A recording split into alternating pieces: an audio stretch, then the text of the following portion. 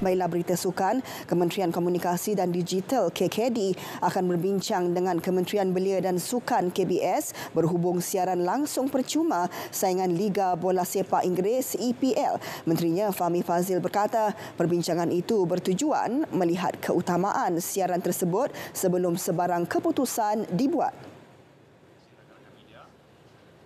Untuk ke depan, uh, pejabat saya dan kementerian telah bertemu dengan uh, beberapa uh, mungkin penyedia siaran ya, uh, bagi beberapa uh, sukan.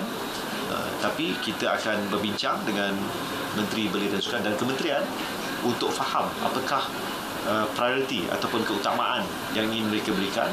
Dan dari situ kita boleh rancang untuk tahun tahun-tahun yang akan datang insya-Allah. Beliau ditemui selepas mengadakan sesi perjumpaan bersama warga KKD Kelantan di Jabatan Penyiaran Kelantan Wakaf Cik Ye semalam. Fahmi mengulas berhubung janji Pakatan Harapan PH untuk mengadakan siaran percuma EPL kepada rakyat ketika pilihan raya umum ke-14 PRU 14.